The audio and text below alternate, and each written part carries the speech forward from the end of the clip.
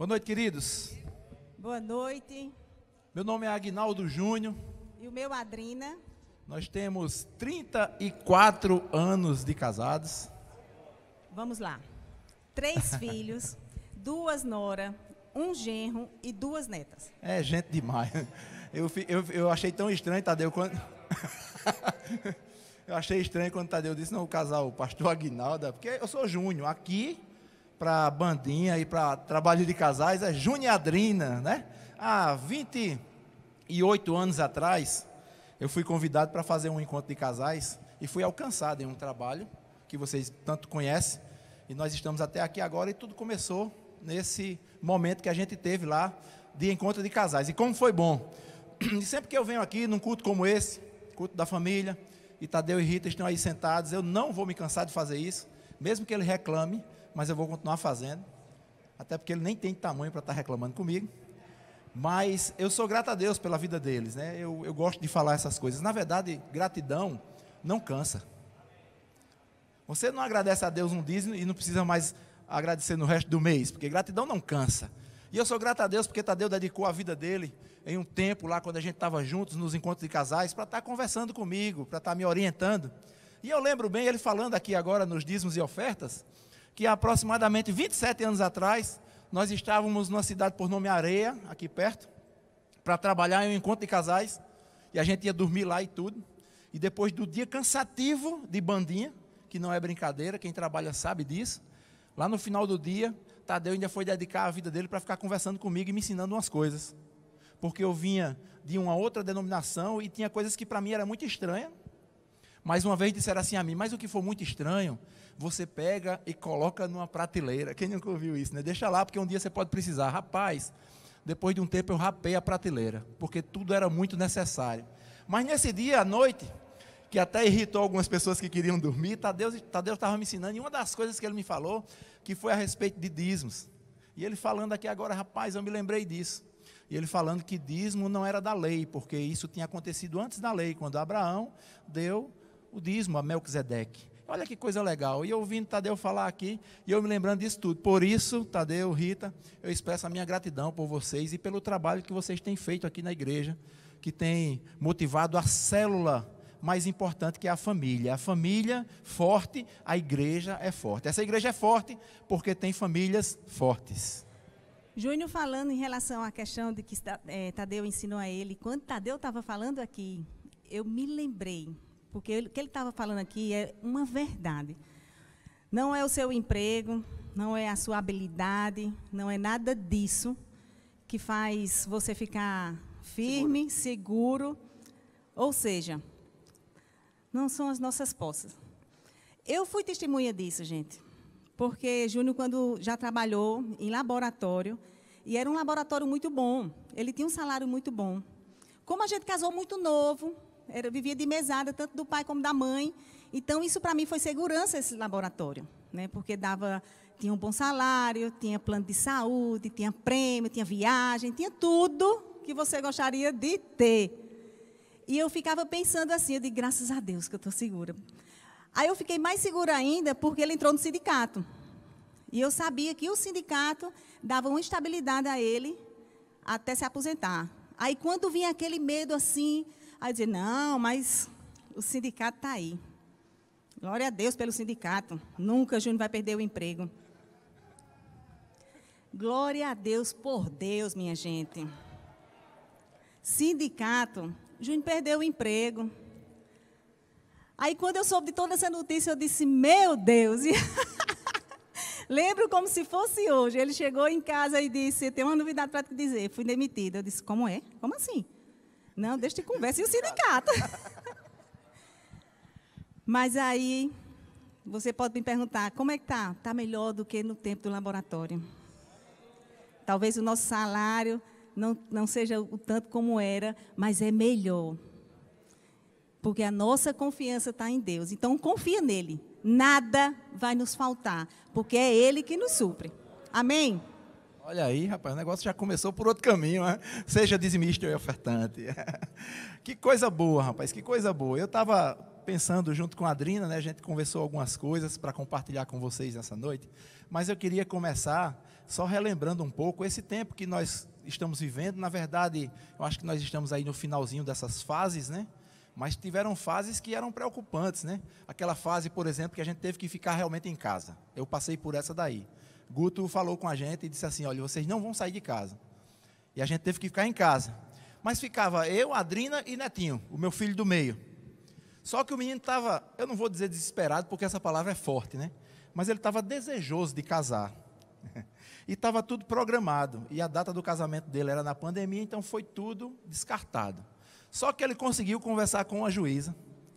Falou com essa juíza, a juíza gostou dele e fez esse casamento de forma virtual. Ele casou pela internet. Olha que coisa. Eu até perguntei a ele, meu filho, a lua de mel vai ser pela internet? Ele disse, não. É. Mas ele casou pela internet e foi embora de casa. E agora, no meio desse, desse momento todo de pandemia, eu e a Adrina, olhando um para a cara do outro dentro de casa. Era esse povo todinho em casa dessa lista que ela está dizendo, agora só tinha eu e ela de novo. O que a gente pode fazer numa fase como essa? Crescer, se relacionar melhor. Amém? E foi o que a gente optou. A gente ouviu relatos de famílias que tinha um que dizia assim: Rapaz, eu tentei jogar minha mulher várias vezes pela janela, a sorte dela é que tem tela. Aí ela bate e volta para dentro de casa. Já tem outro que disse assim: rapaz, esse negócio de pandemia, fiquei em casa com a minha esposa, conversei, conversei tanto com ela que eu descobri que ela é gente boa. Ou seja, não estava nem tendo tempo para conversar. E como foi bom para a vida da gente. Hoje, hoje é muito bom para a gente dizer isso e é muito fácil. É fácil. Nós estamos vivendo o melhor momento da nossa vida. 34 anos de casado, mas nenhum filho em casa. Aí disseram que eu ia entrar na síndrome do ninho vazio. Ó, eu pensando em entrar na síndrome da nova lua de mel ou pelo menos de tentativas por causa da idade, mas a gente está aqui para viver, rapaz. Divirta-se. Às vezes é uma pipoca e um bom sofá para conversar e comer pipoca. Como isso é bom. Como isso é bom. Então a gente pode aproveitar o tempo. A gente pode aproveitar a nossa vida, queridos. Nós estamos aqui para aproveitar a nossa vida. Amém? Então aproveita a tua vida aí com tua esposa. Volta a dizer que a ama. Eita, como isso é bom. Só que tem um detalhe. Quando você diz à sua esposa que a ama, o certo seria que ela já soubesse disso. Então, tanto ela pode dizer é verdade, como ela pode dizer é mentira, safado. Porque a frase não vai fortalecer a ideia do amor. Eu vou dizer para ela que amo, mas ela já sabe, porque eu já provei antes com ações. Mas esse é um bom tempo para voltar a dizer que ama, para voltar a beijar. Amém? Silêncio, então, não tem mais ninguém beijando. Vocês acabaram com esse negócio mesmo, foi? Voltar a beijar, queridos. Não é beijinho, é, né, é beijo, meu irmão. Beijo de verdade. É bom. Voltar a conversar, a, a namorar. É, namorar que eu digo não é aquele namorar, não. Namorar assim, de ficar juntinho, conversando, cafuné, cheiro no cangote que a gente fazia com tanta facilidade. Nós estamos vivendo um tempo de voltar a cheirar no cangote. Eita, profundo demais. É, Para viver bem, queridos. Porque nós vamos estar juntos até o final. Esse é o plano de Deus. Aquilo que Deus une, o homem não tem direito de separar. Então nós vamos viver e viver bem até o final. Amém? Eu estava pensando em um texto para a gente compartilhar. E eu queria ler para vocês o que tem em Lucas capítulo 10, do verso 38 ao 42. Eu estou lendo aqui na versão Nova Bíblia Viva em português. Se você quiser abrir aí a sua Bíblia, Lucas capítulo 10,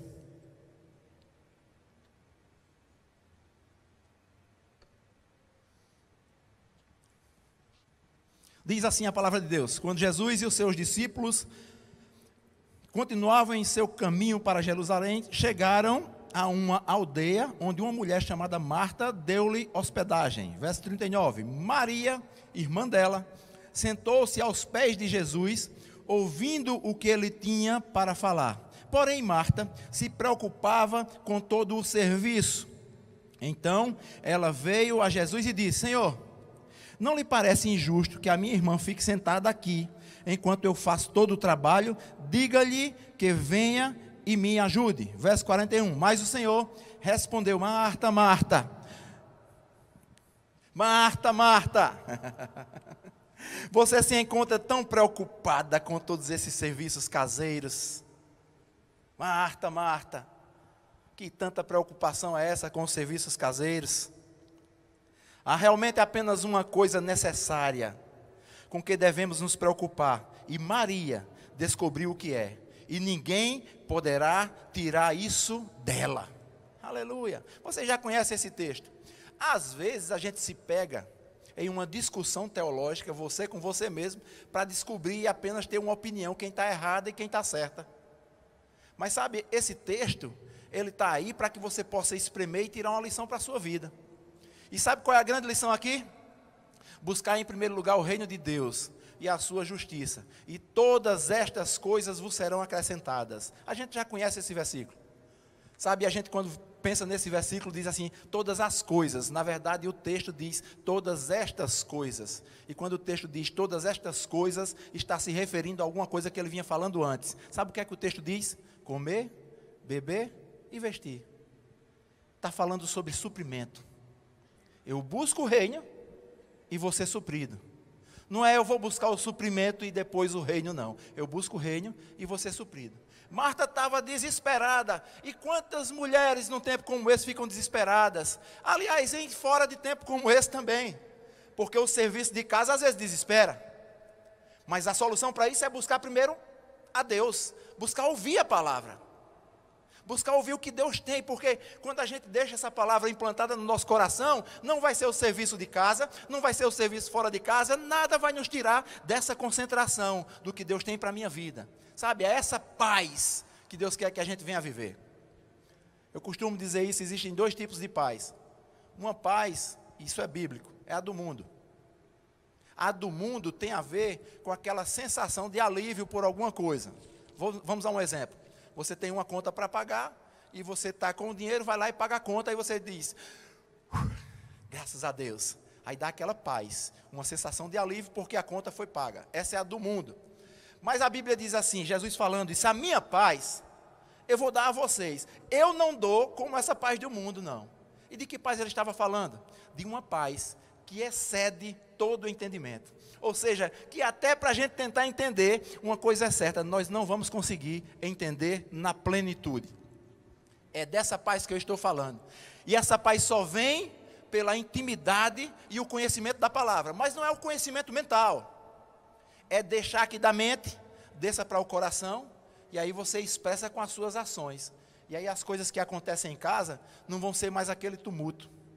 Eu não sei se vocês já passaram por isso, mas eu até já passei. Brigas em casa ou até aconselhar casais que estão vivendo o pior momento da vida em ponto de separação. E quando a gente começa a conversar para descobrir o que aconteceu, aí descobre que a briga começou por causa de uma pasta, Tadeu.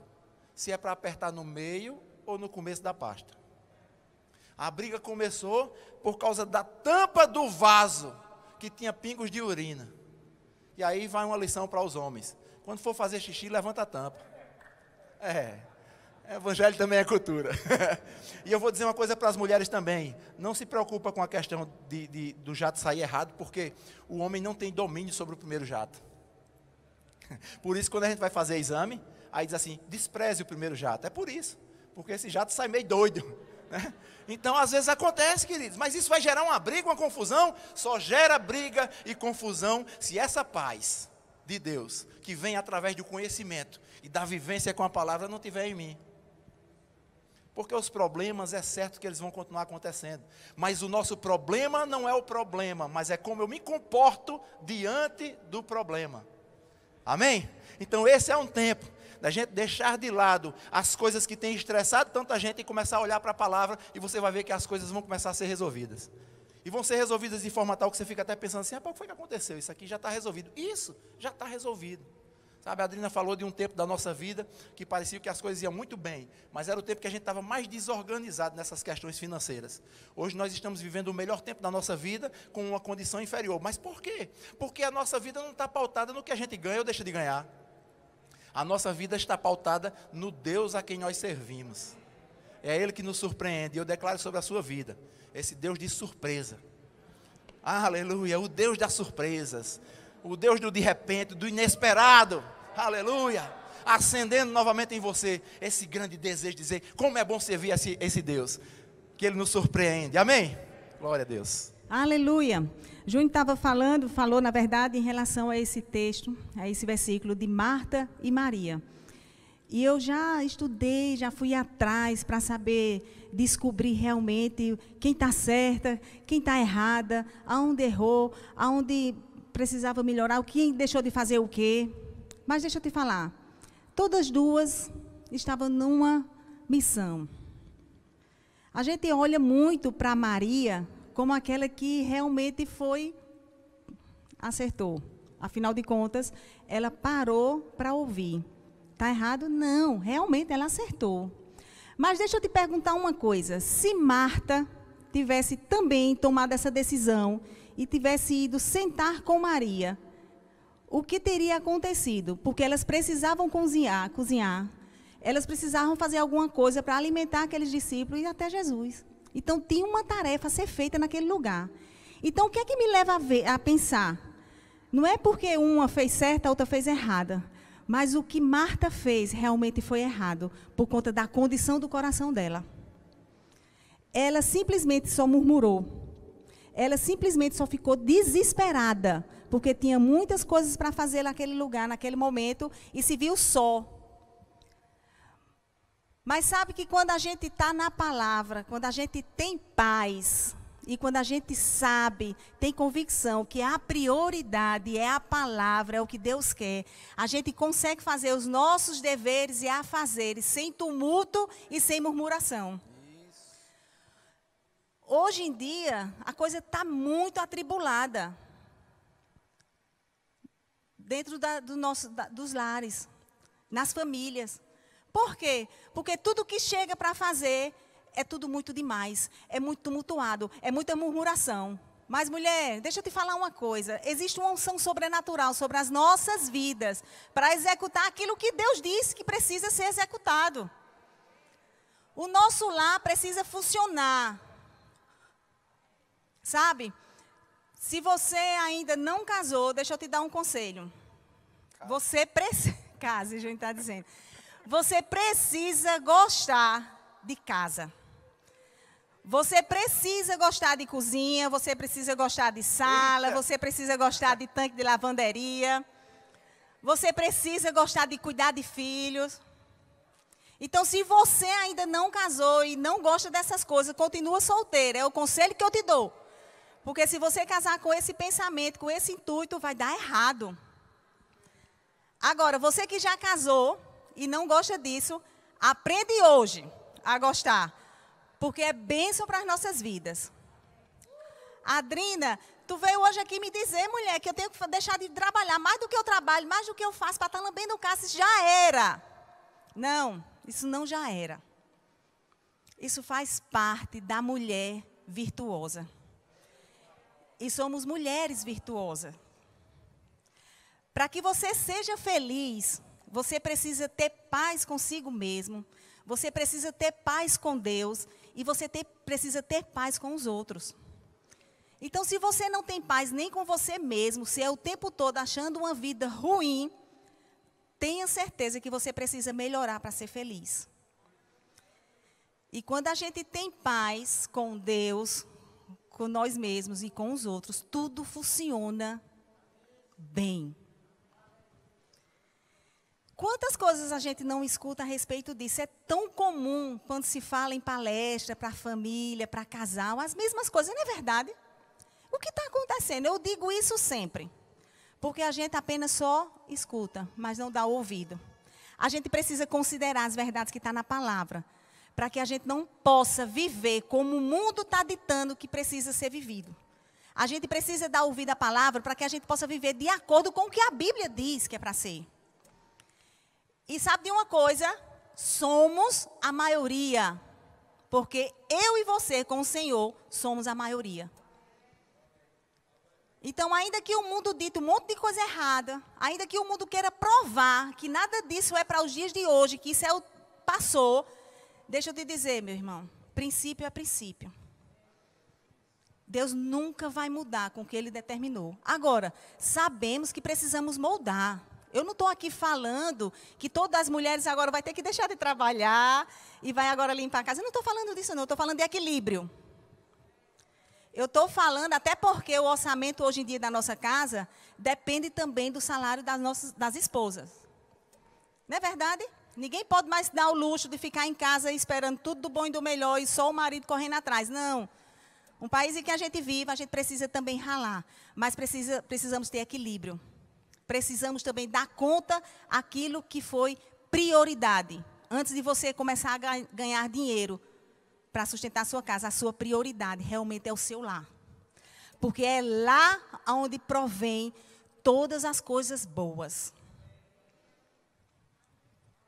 É lá onde provém uma felicidade, sabe? Uma harmonia para que o teu marido possa ter ânimo, vontade e coragem de trabalhar e ficar desejoso em voltar.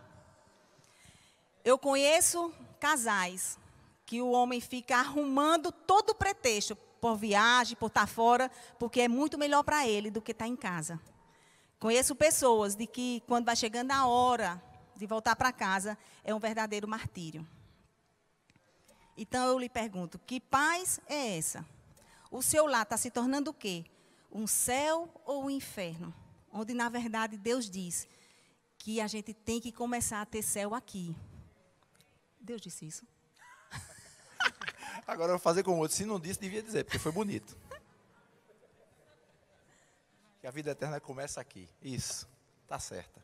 Deixa eu te dizer uma coisa. Na nossa casa é o começo de todas as coisas. Às vezes, às vezes, nós, nós temos ações e reações na igreja que não condizem com quem nós somos em casa. Sabe, Deus está nos chamando para nesse final nós sermos originais. É preferível se você falha em casa que você fale na igreja para poder na igreja alguém lhe corrigir. Já que em casa ninguém corrige. Mas a gente precisa saber que as coisas começam em casa. Por que existe tanta dificuldade em cultos de oração? Porque eu não oro em casa. Por que existe tanta dificuldade de ir para um culto de ensino? Porque eu não estudo em casa a Bíblia. Por que existem mulheres que estão querendo fazer a mudança e trazer as coisas de casa para a igreja? Porque na igreja o marido é uma benção. Deixa eu te dar um exemplo. Pode ser que às vezes isso, isso, você já tenha até visto alguma coisa parecida, talvez não aqui, mas em outro canto. Mas alguém diz assim: Olha, eu estou com muita dor de cabeça na igreja. Aí o irmão diz: Está com dor de cabeça? Ah, estava. Porque está aqui quem crê.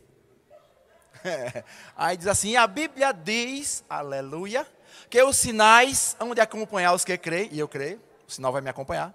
Em meu nome, imporam as mãos sobre os enfermos e eles serão curados. Olha, só em dizer isso tudinho, o, como diz lá em Alagoa Grande, na minha terra, o pantinho já foi tão grande que o cabra está curado. Já está bonzinho. Aí ele coloca a mão e ora. Mas esse mesmo volta para casa. Quando, quando chega em casa, para a felicidade dele, a esposa diz assim: Eu estou com tanta dor de cabeça. Aí ele diz assim: Toma um Doflex. Quem é ele? Eu vou te dizer. Ele é o do Doflex. Aquilo ali foi a encenação. Mas ele é o do Doflex. Então a gente precisa reverter isso. Eu estou dando só um exemplo. Talvez até razão para risos, mas eu queria isso mesmo. Mas para você entender. Então eu tenho que começar como? Quando ela disser que está com dor de cabeça em casa, eu orar por ela. Embora eu não faça na igreja ainda. Aí quando eu vier fazer isso na igreja, ei, é real. Porque já começou lá em casa. Amém? Esse é o modelo de, de vida que Deus quer para mim e para você. Mas quando a gente vai alcançar isso? Quando a gente deixar de se preocupar com as coisas e os serviços e começar a dar atenção plena à palavra. Sabe, quando eu penso sobre dar atenção plena à palavra, eu começo a pensar também que muitas vezes nós estamos caindo no erro de tornar comum coisas que são extraordinárias. A palavra de Deus é extraordinária, não é comum. Mas os adesivos, os para-choques de caminhão e outras e outras coisas mais, a repetição sem entender o que está dizendo, está tornando comum. Então, um verso, por exemplo, como: O Senhor é o meu pastor, e Todo mundo sabe disso. Que coisa boa. O Senhor é meu pastor e nada me faltará. Adesivo demais, é, para-choque de caminhão. E a gente perdeu, tornou comum uma coisa como essa. Queridos, o Senhor é o meu pastor e nada me faltará. Pode revolucionar a minha vida. Se eu entender isso, pode mudar a história da minha vida. Sabe, tem uma versão da Bíblia que diz assim: O Senhor é o meu pastor, Ele me dá tudo que eu preciso. Aleluia. Olha que coisa linda. A gente vai se aprofundar um pouco mais nisso. Ele me dá tudo o que eu quero. Foi isso que eu disse? Não. Foi não. Não foi o que eu quero, foi o que eu preciso. Porque é uma diferença entre o que eu quero e o que eu preciso. Está clareando mais? Nunca mais você vai olhar para o Senhor é meu pastor de qualquer forma. Olha outra. O Senhor é o meu pastor. De nada sentirei falta. Eita glória. Sabe o que, é que ele está querendo dizer? Mesmo que falte, eu não vou sentir a falta. Porque eu sei o Deus em que eu confio. Você vê como a responsabilidade vem para a gente? Porque a parte do Senhor é o meu pastor, talvez seja a menos entendida. Mas a atenção fica voltada para o nada me faltará. Sabe, queridos? Essa condição que diz aqui, de nada sentirei falta, está falando sobre um homem cuja palavra está implantada no coração. Tem deixado que o Senhor seja o pastor, para que não sinta falta de nada, porque confia. Nós precisamos confiar. Eu não sei qual o momento que você está passando na sua casa, seja de relacionamento com a esposa, com os filhos, ou seja de ordem financeira, eu não sei qual o momento. E aí você se desespera, Marta, Está cheio de Martas e Martos por aí. Mas esse é um tempo de levantar-se as Marias que tem dentro de nós. Dá atenção àquilo que realmente pode mudar a nossa situação. Sabe, queridos, quando eu vejo um texto como esse, que parece ser tão simples, que parece ser tão comum, mas é extraordinário, o Senhor é o meu pastor e nada me faltará. Isso me reporta para um outro texto da Bíblia, que está, não precisa se abrir, 2 Coríntios capítulo 9, versos 7 e 8, muito conhecido, porque diz assim: Cada um deve resolver por si mesmo quanto vai dar. Vocês lembram disso? Não forcem ninguém a dar mais do que realmente deseja, pois Deus ama quem dá com alegria. A gente escuta isso demais. Mas eu não sei se você reconhece o próximo verso. Mas eu vou ler para você. Deus pode ajeitar isso para você dando-lhe tudo o que você necessita e ainda mais, para que não não só haja suficiente para as suas próprias necessidades, mas também sobre em abundância para você dar prazerosamente aos outros. Aleluia. Oh, glória. Esse é o projeto de Deus, queridos. Aqui está falando sobre sua necessidade suprida, sobre uma sobra para você, para que você possa suprir a necessidade dos outros. Esse é o plano. E a gente pode estar em três níveis aqui. O primeiro nível é o nível de que nem as necessidades estão supridas. O segundo nível é o nível em que apenas as necessidades são supridas. E o terceiro nível é o nível que Deus tem para mim e para você. Necessidades supridas e sobra para suprir a necessidade dos outros. Esse é o plano. Esse é o Senhor, é o meu pastor. E nada me faltará. Amém?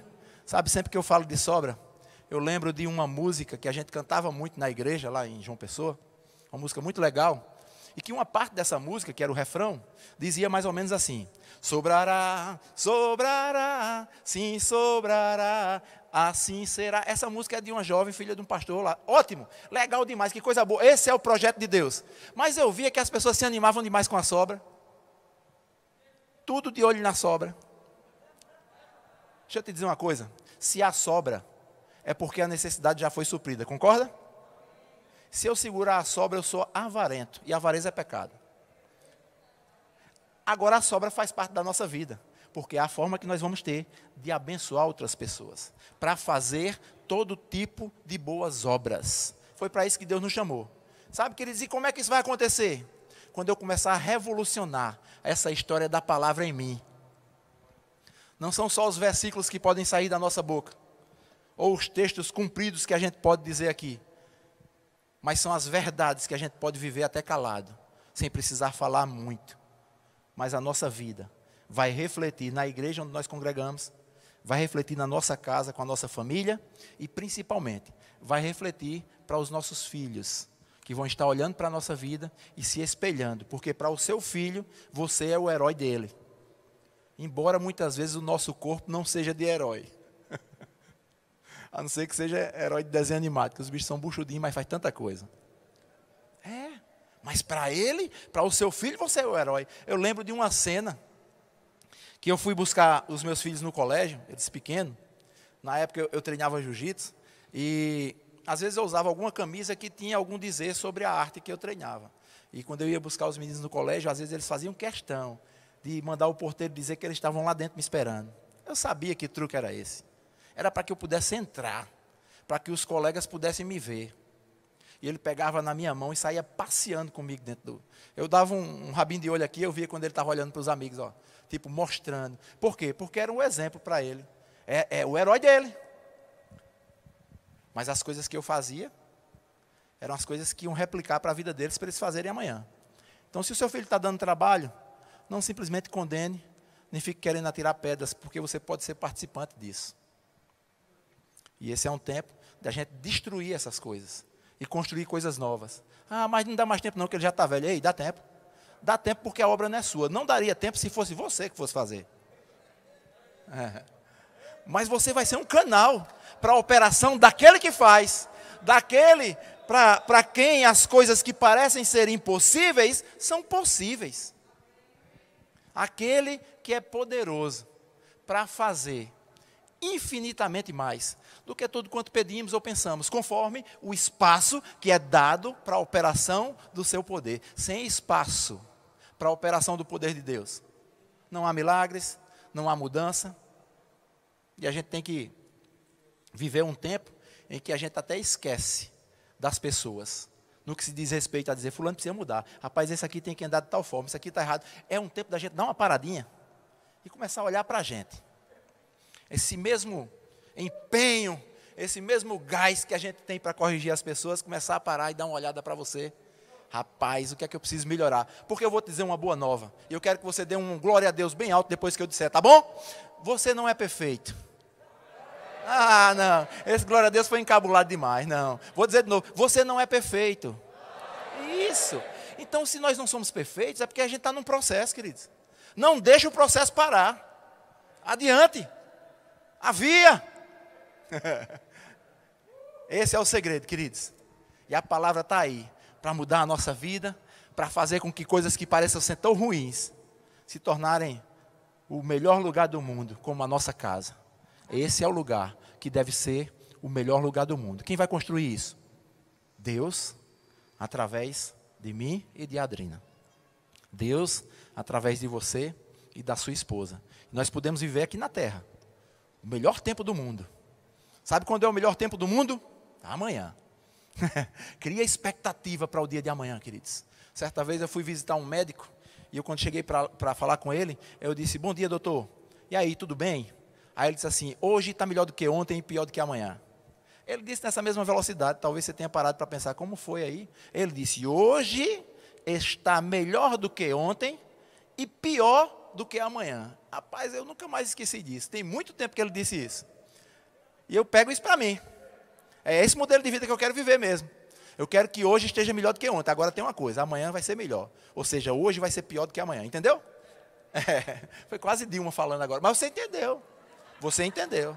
Esse é o processo. Eu estou num processo. E num, num, processo tem que ter movimentação. Se eu ficar parado, nada vai acontecer. E eu vou esperar que alguém me empurre? Não.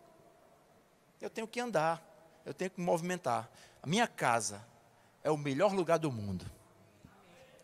Aí você vai dizer, rapaz, aquele apartamentozinho, bem pequenininho, do sofazinho ruim. Não, não estou falando por causa das coisas que tem. Eu não estou falando pela estrutura física. Eu estou falando porque lá naquele lugar, eu estou junto com a minha esposa. A mulher da minha vida. A mulher que eu amo. Aquela que gerou os meus presentes, os meus filhos. E hoje eu olho para eles e eu vejo como foi bom ter esse tempo com eles, que agora eles estão todos três casados, cada um construindo a sua vida. Não deixa de ser filho, mas agora eles estão na responsabilidade que eu tinha lá atrás quando começou. E eu posso olhar para a vida deles, como Tadeu e Rita podem olhar para a vida de Perilo e Tiago, quanto tantos aqui que podem olhar para a vida dos seus filhos e dizer assim: deu certo. Ah, como isso é bom. Aí você pode estar pensando, e se eu não puder dizer isso?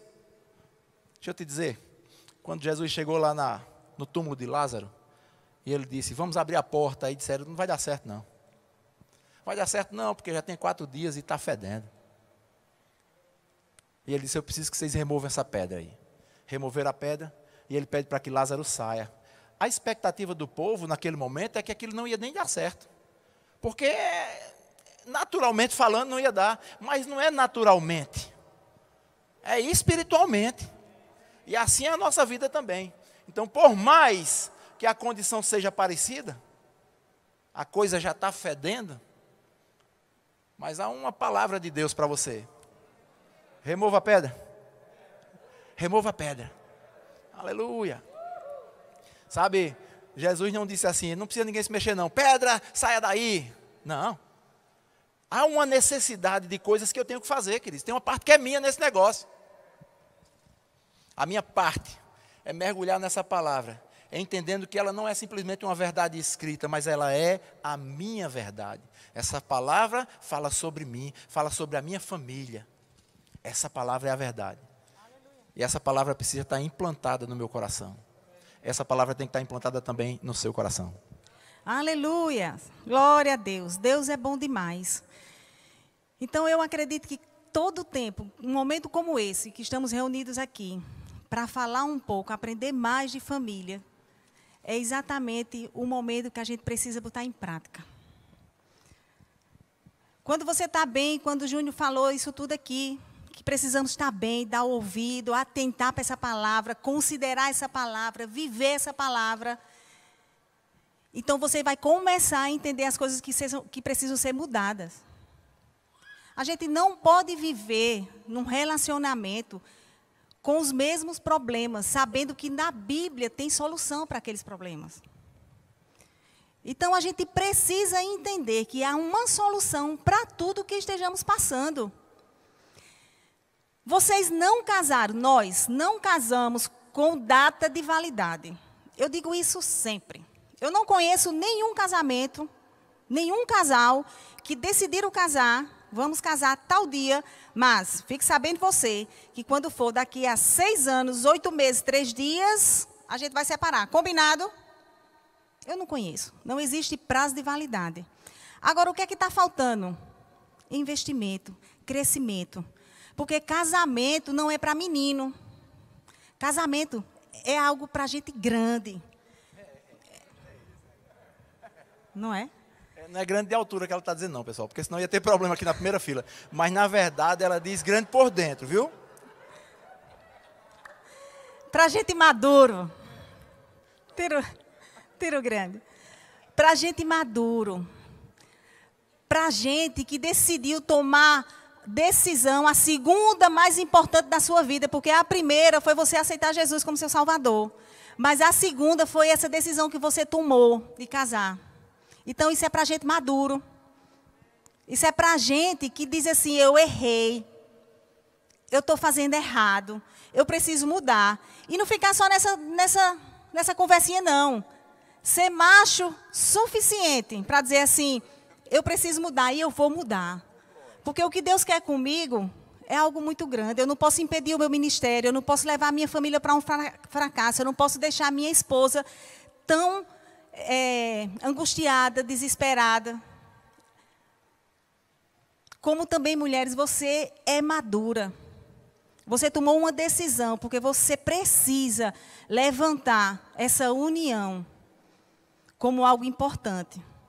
O mundo diz que casamento é instituição falida mas vamos ficar em pé com essa bandeira erguida até Jesus voltar, que é um projeto dele.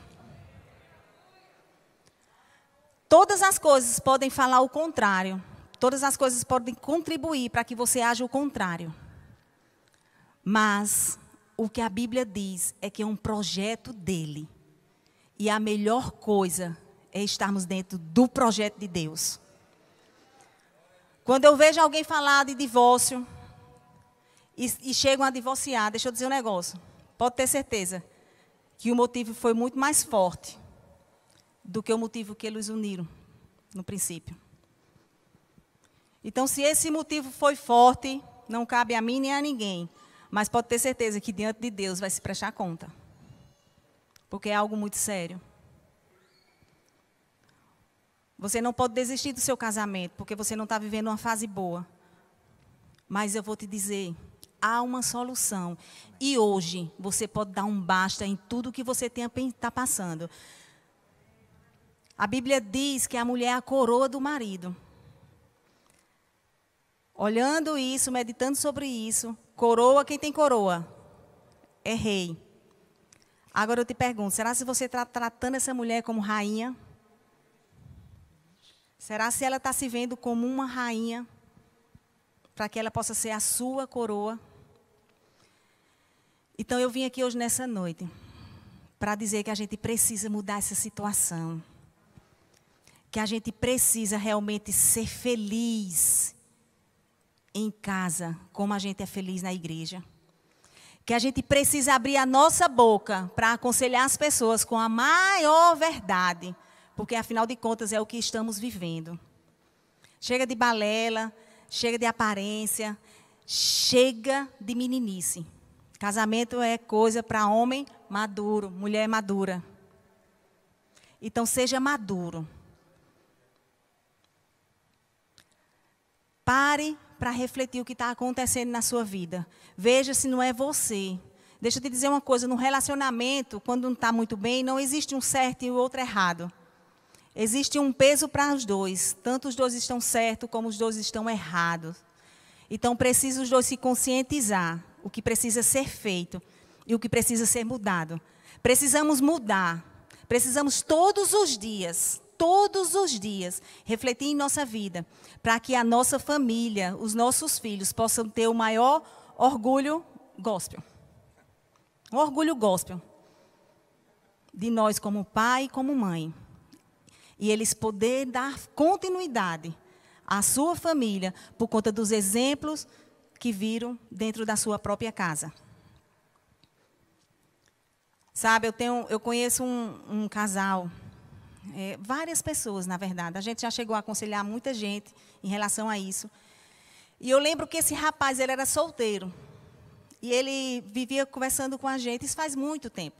E ele dizia assim, Agnaldo, é, você não sabe o quanto eu sofro. Porque meu pai, ele bate na minha mãe. Às vezes a gente não tem nem o que comer. Às vezes o que se come é cuscuz todos os dias e ele é grosso, e ele é isso, e aquilo outro. E às vezes ele falava isso chorando. E um, eu lembro que uma dessas vezes que ele chegou para conversar com o Júnior, ele disse assim: Rapaz, eu nunca vou ser como meu pai. Quando eu casar, eu quero ser um homem. Eu quero ser um marido. Eu quero que meus filhos tenham orgulho de mim. Eu quero isso, eu quero aquilo e tal. Aí, amém. Graças a Deus. Glória a Deus. Que coisa boa. Mas deixa eu te dizer: esse rapaz casou. E ele foi a xerox do pai. Bateu na mulher, fez um monte de coisa, até que separou, casou de novo, separou, casou de novo, já está no quarto casamento. Aí eu te digo, teve um peso do pai? Claro, teve. A gente não pode ser responsável por coisas ruins que deram no, nos nossos filhos, de jeito nenhum. Temos a responsabilidade de, de colaborar tudo o que é bom. Mas uma coisa eu também sei: ele não atentou para o que a palavra diz. Porque, por, pelo seu pai, porque a sua mãe foi muito ruim, você não pode se gabar e se esconder e dizer assim: foi o que eu aprendi. Você tem a palavra para lhe orientar. Então você não pode tirar, mesmo que tenha sido ruim, mesmo que as, é, os exemplos não foram bons. Mas hoje nós temos a palavra para nos instruir, temos o Espírito para nos instruir, então não somos indesculpáveis. Agora precisamos ser maduro o suficiente para ouvir o que essa palavra diz, atentar, obedecer e fazer. Amém. Glória a Deus, glória a Deus. Eu quero estimular vocês também a manterem um relacionamento em casa de, de investimento de investimento e não de competição. Às vezes, quando a gente diz a palavra, fica muito pesado, mas às vezes são ações que demonstram aquelas palavras. Então, eu, eu me lembro que sempre que eu falava dos investimentos que eu fazia, porque você pode ver, ó, como ela disse, é minha coroa. Como ela disse, né? E aí, 60 anos, mas você olha assim, você não diz que tem 60 anos. Não, é brincadeira. Eu fiz isso de propósito para mostrar para vocês que esse é o modelo de relacionamento que a gente tem. A gente brinca, a gente é amigo, até mesmo antes de sermos casados. Então seja amigo da sua esposa. Esposa, seja amiga do seu marido. Isso é importante. Mas eu brincava que sempre que eu dizia que os investimentos que eu fazia, e na época que eu dava os testemunhos, eu dizia que eu pagava uma escovinha para ela, o nome da escovinha era Califórnia. Nem se faz mais isso, eu acho, que é muito antiga. Aí eu dizia esse negócio, mas olha, investimento não está só voltado ao que você gasta, não. Comece investindo palavras. Comece investindo palavras. Sabe, eu fico olhando para a Adrina, para todo esse percurso da gente, quantas coisas a gente passou, para hoje a gente poder estar tá vivendo esse momento. E isso não me torna diferente de vocês, porque na verdade o, a família vitoriosa, ela, o segredo dela é o cumprimento dos princípios da palavra. Então eu me vejo hoje como um, alguém que foi para uma final de um campeonato e ganhou de 2 a 1. Um. Na hora que eu levei um gol, eu fiquei triste, mas rapaz, levei um gol. Mas depois que o time ganha de 2 a 1, um, que vai receber o troféu, ele nem lembra do gol que levou, porque ele ganhou a partida. Hoje eu me sinto como alguém que jogou, errou um bocado, acertou um bocado, mas ganhei de 2 a 1. Um. Que coisa boa. A gente vai errar também, queridos. Agora, o grande segredo que há quando a gente erra é parar para dizer assim, rapaz, eu errei. Porque quando tem espírito de competição, essas coisas não acontecem. Porque se eu disser que eu errei, o que, é que, ela vai, que vai acontecer? Ah, ela vai montar, vai ser o maior problema do mundo. Nós não estamos aqui para competir. E essas competições são até engraçadas, porque quando se fala do, da criação, por exemplo, aí tem muitas coisas que se falam, né, de Adão e Eva, e começa aquelas brincadeiras. E eu sei que às vezes se diz isso por brincadeira, e a, a esse tipo de comparação, é, quem foi que errou, a mulher atrapalhou o homem, mas Deus viu que não era bom como tivesse só. Essa opinião é de Deus, não é do homem. Então, se é uma opinião de Deus, ela tem que ser levada em conta. Amém? E aí eu estava, eu estou falando isso para ler uma poesia para vocês.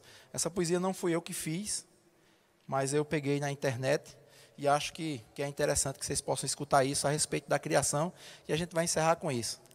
E diz o seguinte: a ordem da criação.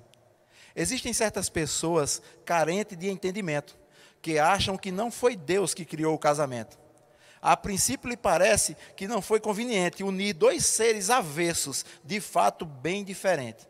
Mas nós que somos cristãos e temos boa memória, conhecemos muito bem como surgiu essa história.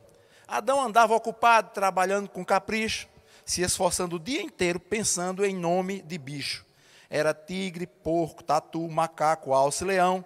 Adão andava inspirado e foi mesmo abençoado com tanta imaginação. E é possível que o sujeito também tenha reparado que todo animal macho tinha uma fêmea do lado. E o Senhor, demais atento, sondando-lhe o coração, sentiu que era preciso dar um fim à solidão e disse: Adão, filho querido, não quero te ver tão só. Far-lhe-ei uma companheira, uma joia de primeira da costela e não do pó. E pondo Deus em ação aquilo que pretendia, nocauteou o nosso Adão, dando início à cirurgia. E Deus cerrou-lhe a costela, pondo carne no lugar. E assim fez a princesa, esperando ele acordar. Quando o varão despertou daquele sono pesado, o corte da cirurgia já tinha cicatrizado. Então Deus trouxe a varoa e entregou a Adão. Ouviu um brado de glória e a seguinte exclamação: Ela é carne da minha carne, ela é osso do meu osso. E Adão foi para a galera e fez aquele alvoroço. A partir daquele dia, o homem bem mais ocupado deixou para trás muito bicho sem o um nome catalogado. E até hoje rola um papo machista e bem corriqueiro, que o homem é mais importante porque foi feito primeiro. Algumas mulheres se irritam e afirmam de arma em punho que a vida da obra-prima vem sempre depois do rascunho. Mas há também homens que falem e há quem acredite que Deus fez Adão primeiro para Eva não dar o palpite. Mas isso é irrelevante para o sucesso da vida a dois. Para ser feliz não importa quem veio antes ou depois, porque Deus fez tudo perfeito. E discorde quem quiser, mas o melhor da mulher é o homem, e o melhor do homem é a mulher. Aleluia! Pai, muito obrigado por tua palavra porque ela nos alcança por dentro, ela vai naqueles lugares que muitas vezes só nós sabemos, e como é bom, de uma forma tão simples, tão natural, poder entender a tua palavra, entender o teu plano, o teu propósito, mas ainda não é tudo, nós queremos a ajuda do teu Espírito Santo, e graças a Deus que ele já está liberado para nos ajudar, para que a gente possa andar nesses princípios. Essa parte é nossa.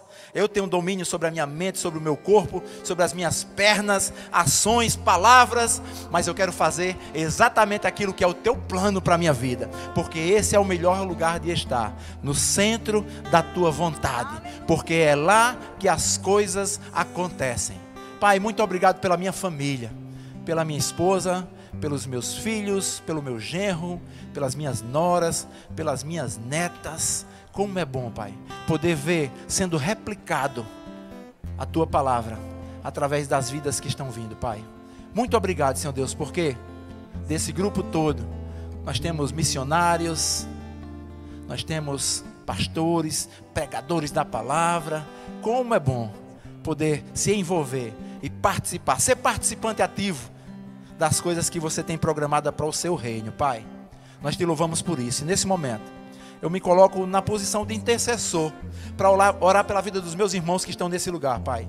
Se existem problemas, isso não é anormal, já estava prometido que nós íamos ter problemas, mas o texto não para aí, e nós somos gratos por isso, Pai. Obrigado, Senhor Deus, porque você venceu o mundo e você habita em nós, então não há problema que a gente não possa vencer também e que seja aguçado nos nossos corações, Senhor, através da intimidade, essa confiança de saber que você tem sustentado a nossa vida. Foi, foi você que nos trouxe até aqui.